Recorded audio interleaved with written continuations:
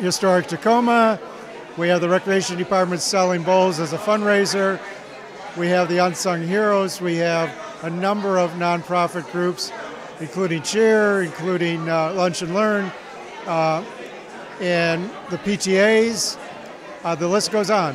The empty bowls are done by the youth of Takoma Park for um, the charity of the Cheer Foundation to feed the hungry, and that's why that's why they're here. This is our annual chance to thank the donors who so generously provide the money that we give out, to recognize the grantees, the people who are doing the work for the worthy causes, and also today we were talking and celebrating the unsung heroes who uh, are individually doing work, not necessarily with groups, but just contributing all the time to make Takoma Park better.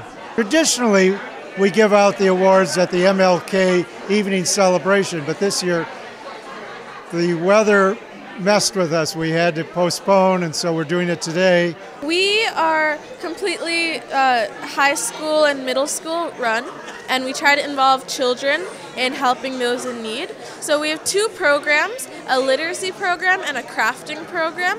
And so with literacy, we go to food distributions and we read to the underserved kids there. And then we also give them new books to take home. And then for crafting, we work with groups of children to make different things for hospitals and the homeless. I, I am really um, pleased and, and proud. I, this is such a wonderful community, and I'm so glad that to be part of it. Even though I don't live here, I work here, and I'm really uh, proud of this community and happy I can help. We get about 2,000 pounds of food for Kokua Foods each weekend, and so far we have collected over 150,000 pounds of food and distributed it. The first weekend of, goes to Takoma Park Middle School. The second weekend, we take it to Hampshire Tower Apartments, where we serve the elderly and um, families there. And the third weekend is Rolling Terrace Elementary School, which is Title School. And then the fourth and fifth weekends, we distribute it to local area shelters such as Shepherd's Table. It's a really huge honor, and we're very grateful. I'm part of the active community. I never I never thought about me getting an award. I was always thinking about me working with the group to make this place a wonderful place for all of us. So it's kind of nice. It's kind of nice. Here in Takoma Park, um, we we do a lot for each other. Uh, that's what makes it a great place to live. Um, a lot of what we do isn't something that we champion in the in the, in the front. It's things we do in the background. There's ways that we support each other that we're not as prideful as to say, "Oh, look at me, I'm doing great stuff." You're doing great stuff in the in the background, but you know it's it's vital and you know it's important and you know it's it's those kinds of things that keep the community together. And so the Unsung Heroes Awards are really uh, connected to uh, MLK uh, and that that celebration, and also just to champion those people. The title I wear is community activist. My core values are justice, economical justice, social justice, and social, cultural, economic justice is what I, I focus. And community based is my approach. I think there is so much resource uh, in the community, experience, goodwill, purchasing power, investment power in the community. So if we talk to one another, if we work together, I think development can come to grassroots level. This is a wonderful event. The timing of it was great for me because it's been a tough month. Uh, with the government shutdown, but it's opened up and we got to celebrate all the people who got the Unsung Hero Awards, and that was fun. And um, so, always great being here with my Takoma family. What we need to do as we come together to do big things, we also have to build human relationship one person at a time. It's an amazing feeling to be able to help others in need and just put a smile on someone's face. It's been a real pleasure being part of the Takoma Park community. We're actually from Rockville, and Lana goes to school at Blair, and she went to Takoma Park Middle School, so we feel like this is like our adopted community, and we love it here.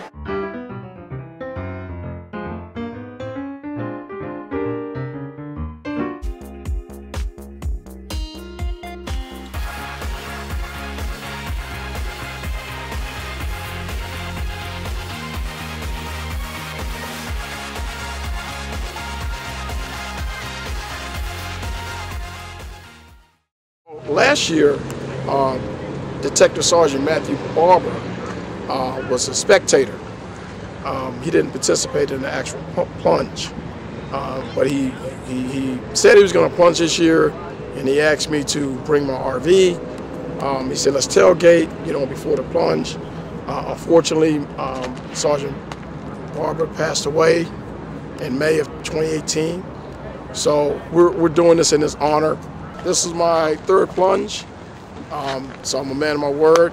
I said I would, you know, the first year I did it, I said I would do it the second year, did it the second year. Last year I said I'd do it this year, so here I'm, I'm back again. I always give to Special Olympics every year, so I thought I'll do it as a team effort this year and, and try the plunge. That was before I broke my wrist, but I'm still going to do it. I'm, I'm only going to go up to my waist or so. I'm not going to go all the way under and, it's, and it's cold today, so I'll, i think it will be good enough. The first time, what I remember is when you first get in, it's cold, and then you kind of go numb, and then it's not so bad. You don't really feel it. So we'll see. I will see how many people go all the way in this time. You can't get ready for it. It's a shock, so you just have to go and prepared this year. Just do it. No, this is about the 11th time I've done this. So. I'm excited again. It's a little colder today with the wind, but uh, we'll make do. We'll make definitely make do. I make sure I have a lot of clothes when I get out. That's the most important thing. Don't go in with a lot of clothes, but when you come out, you better have a lot of clothes ready. But it's gonna be a fun time. I tell you, I'm, I'm really excited. My second plunge. How was it the first one? Cold. And what do you expect of this one? Colder. well, he better have the towel open for you so when you come out, he can just wrap you up and swaddle you like a baby. Yeah, my arms too. The weather's pretty good. It's a little windier this year, so it'll probably feel a little colder when you get out. Um, but at least it's nice and sunny, so at least it's not like last weekend when it was really cold. I was in the car, I was there, I was like, oh my gosh, it's going to be cold. I'm just happy it's not as cold as Monday. That, I'm so happy it's not as cold as Monday. It's cold, but it's not as cold as Monday. You really can't prepare all. yourself. I, I don't. I don't think I was not going to take a cold shower. I was not going to do any of that craziness. I was just going to come out here and say, you know what, forget it. I'm doing this for a good cause because my um my um nephew, he's um a special needs, and I love him to death, and I'm going to go in this water for them. Yeah, a lot of training. You know, I took a, a cold shower last night. I guess that's really the only training I've been doing. So, you know, one one training session. I think it should be good though. I grew up in Pennsylvania, so we're kind of used to the cold. So I'm gonna rely on that. Years of experience in the snow. One time at the movies in the winter, I locked myself out of my car, so I had to stay outside for a few hours. Um, stuff like that. You think? It's my first time. Second. I'm gonna do it with shorts and a short sleeve shirt. Veteran. Just kidding. That's how we roll. Got a veteran It's first time. We're excited, and we're doing this in honor of uh, Sergeant Barber. Uh, they said it's gonna water's gonna be about 35, but with the wind, it's gonna feel like in the 20s. So it's gonna be freezing. What do you think? I expect I'll hang out in the water for half hour, 45 minutes, I've swim some laps back and forth, maybe go out to the bridge and back. Just depends. Uh, I haven't seen any sharks yet, so.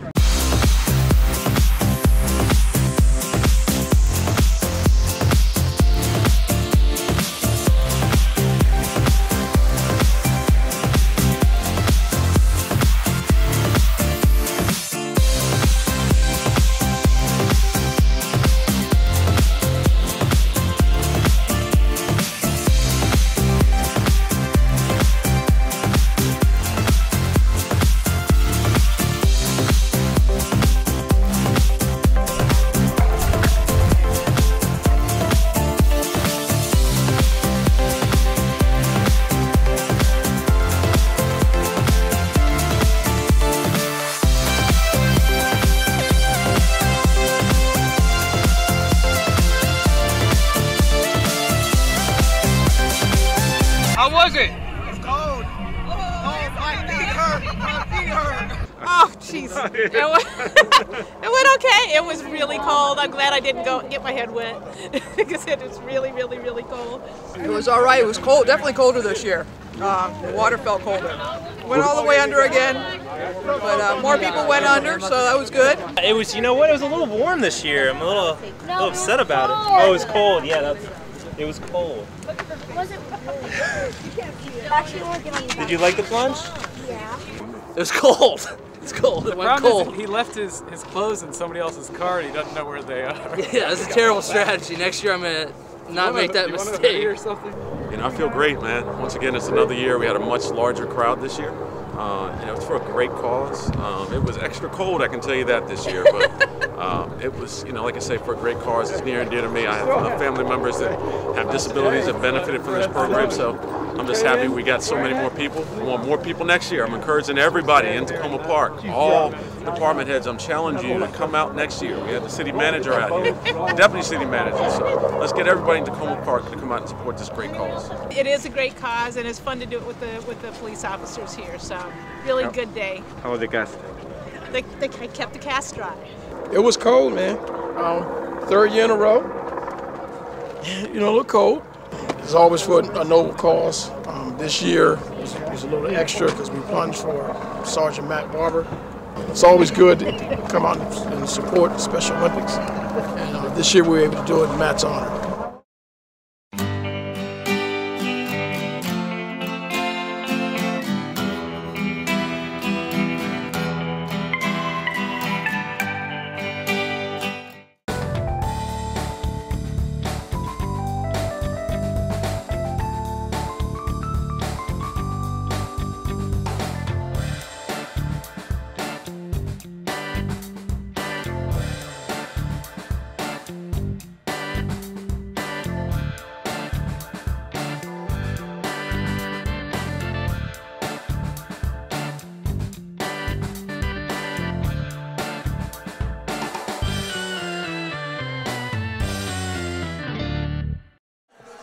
Art is mainly about culture in the Caribbean. I'm from the Caribbean, Trinidad, and so I, I'm, at this point, I'm doing a series of stuff that deals with dance and other cultural activities in the Caribbean. And I'm also interested in the in the nature, the you know, the vegetation. So I have the forest scenes and beach scene and stuff like that. These are several works that I worked on since 2016. Um, most of these are addressing um, life as an immigrant, but also what does it mean to belong, um, national identity, cultural identity, um, notions of home, um, and gender. Um, I illustrate my watercolor illustrations of uh, women, black women in fashion, um, and florals and a lot of metallics. My, just like carefree, um, just pretty stuff of black women. So this is an installation um, that was originally created in 2015, um, and it features clothing and uh, undergarments and bed sheets, all donated textiles from uh, women. Um, so I reached out to family, friends, and had them reach out to their uh, family and friends. Some of them from scratch, some of them from a photograph, and some of them from memory. It's acrylic, it's mixed media, so I will have acrylic, pastel, crayons, ink. Sometimes I use all of this in a piece. And sometimes I just use acrylics. There's one in here that's just pastel. Um, there are several techniques, so each piece is made with a different technique. This one behind you is um, a collaged image of my childhood home um, and my Urdu handwriting that I um, digitally scanned and printed onto chiffon to talk about the ephemerality of home as an immigrant and the delicacy of the idea of home. Um, some of the weavings are also um, calligraphy. I've woven paper maps and um, prayers together um, as yearnings, as letters to the divine. Um, some other works are videos. Um, behind you is a performance that I did in 2016 during the presidential election to talk about not only treatment of immigrants and refugees, but also um, as a practice for myself in endurance. So it's called Endure, but it's kind of me engaging with my role of not only being an artist, but also a protesting citizen, drawing attention to issues of social justice through my work, um, especially refugees and immigrants, especially the Muslim community, the immigrant community. It's watercolor and ink on watercolor paper, um, along with some metallic washes. Basically, in my studio, I took chicken wire and uh, wrapped and layered and stretched and weaved these donated textiles together. Um, and so from the strips of fabric and from the process of taking those strips of fabric and uh, weaving them into the chicken wire, it was sort of like weaving their stories together. Mostly, I concentrate on the Caribbean, but then I use my technique is I incorporate everything European art, Japanese, African, India, you know, South America, Caribbean, native culture, everything. And so I use a lot of patterns and that type of stuff in there. A lot of my work is inspired by social political climates and um, larger events that um, affect personal and community narratives. So a lot of uh, my work is in response to the social and political climate, but also traced through, through a very personal experience of myself and my communities. I think art um, can be a powerful tool to raise awareness about issues of social justice. And um, it's not just pretty things on a wall. I think a lot of times people forget that it can be a really powerful way to draw attention towards injustices in our society, and I hope my art does that. I think my favorite is probably like the sketching part, kind of get the ideas on the paper and then kind of refining them. And um, when it's finished, like when it get it's when it's finished and get the idea out and see how it kind of morphed and evolved from the original sketch. It took a long time. It was definitely a very labor intensive process, but I really loved um, hearing all the stories um, from women as they gave me these clothings, um, these, uh, these donated clothing. Um, so there were some things that had a lot of personal meaning to people, a lot of sentimentality, uh, stories, specific stories. Um, some of the items were um, things that they were you know, received from a lover or got while they were traveling. And so there was all this meaning kind of imbued in the fabric. And so what I wanted to do was take that meaning and put it all together um, into something bigger than the individual stories. Um, so the challenge was time, but I loved making this this whole project. So it's 300 linear feet of chicken wire. Um, so this version actually is only about half of it because of the size of the space. Um, so yeah, that kind of gives you an idea. But um, it's super colorful and bright, and I think it looks great here. That's great for the artists and it's great for the people. I find a lot of people, well, in some communities, a lot of people don't realize that art is so available. You know, when you tell them you have a show, they think it's you're setting up for one evening and it's not going to stay and stuff like that. I would like to see some of that get improvement. And there's a lot of places that you could do that, that you that venues that you could see art. I think it's great that people get to meet um, the artists who made the work, but also have conversation about the work. I think the work stands for itself, but it's um, a totally different experience when you get to hear about it from another artist. And I love being around other artists who are in the in the show as well. So um, I'm glad the community is able to come out and join us. Um, I think that's really cool. Just artists, uh, artist life is a lot of times really isolated. So I'm able to be able to meet people and actually see them enjoy your work is is is rewarding.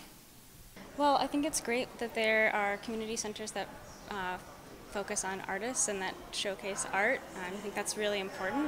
Um, and in the context of Women of the World, um, I love that this is here. Uh, being a woman and having asked women for these um, donated items, um, my hope is that women think about their, you know, where they came from, their histories, and, and the impact that they're leaving on the world. Um, so, yeah.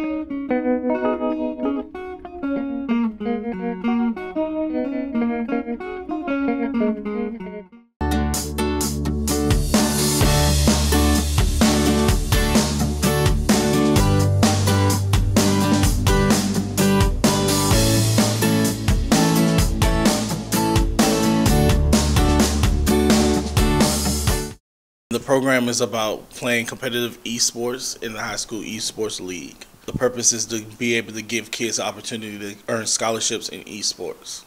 They seem to be enjoying it. They're loving the competitive aspect and being able to challenge themselves against tougher opponents. I heard about it and I saw the um, flyers around and I thought you know, I like Fortnite. I'm pretty good at it and I thought it would be fun to like play with the team. I decided to participate because I thought it was a good opportunity to play like on a team and to connect with other people. I really like to play Fortnite, and I think it's a really fun game, and also because a bunch of my friends are signing up too, so I decided to sign up too. Oh, I really like gaming and stuff, so try this out, and I just like Fortnite. Like I like playing Fortnite and like playing with my friends and stuff, and like being it's like another hobby. I decided to sign up because all my friends are here to play, so I just want to compete with them and play around, have fun. I'm, I know that I'm a god at Fortnite. I need a, a new computer for my setup. So far, it's pretty good. Um, we have a lot of fun here. We do icebreakers as well as sometimes we may write or fill out different um, agendas based on te technology type of careers. So the purpose is to try to get them to engage more about STEM. Well, Fortnite's like um, like a PvP type of game, and there's a hundred people. There's a battle bus, and there's like a map, and then just like everybody lands at some sort, some place on the map. You load up, you know, try to make as far as you can. The building aspect of it is just, I like it a lot. I think it's cool, and I just like because you can play squads, duos, solos, play whatever. It's just sometimes people can like afford stuff, so they just have it like here, so they just like game and stuff. When we first walk in, like there's like a warm up, like just to like get each other like just to get active for the day, and then he gives us a snack, and then like sometimes our stuff is already set up for us, and then like we log in, we start we, we start playing, we play we play like squads or creative or something like that to warm up, and then like at the end like we, we just start we just start having fun. I believe that they really enjoy the Fridays um, when they have competition. Um, they've been pretty responsive to the career activities that we've had, and um, I just feel like they're having a good time in the program. Yeah. Competitions usually go as um, they load into the same lobbies and try to see who can survive the longest. Those are usually against different schools around the country. So far, we played a Canadian team, a team in New Jersey. So it's it's going well. I think it's a cool idea that they let people like in middle school or high school or whatever just be able to like play in, as a team, like for and then it actually helps like go towards our college scholarships and stuff. I think that's cool. I like the building aspect of it, and I also like playing with everybody here. I like how it's competitive, how it's related to a bunch of other games. Lots of people are making millions, thousands, probably hundreds a day, and I think people are actually trying to be gamers because how how much money they're making and how competitive and how other games are. You get better every game you play. Like every game is more competitive because people are getting better repeatedly, like every day. Some people don't get the chance to play at home or they don't have an actual PC or a controller to play on, so they just come with their friends to play on uh, actual controllers or actual uh, good gaming uh, consoles to play on. I would recommend this program to my peers because it's fun. You get to know your friends better, and you can you can just brag about how good you are. A lot of people own video games, so a video game console is almost in every home. So I think that's what's making it popular. It's just that it's so normal. Um, I want them to game the same thing you would get from a traditional sport: the teamwork aspects, the aspects of getting to know each other better, um, learning about how to be a good teammate, learning about those type of things. The things you would learn as is some no different as if you were playing basketball in a basketball team.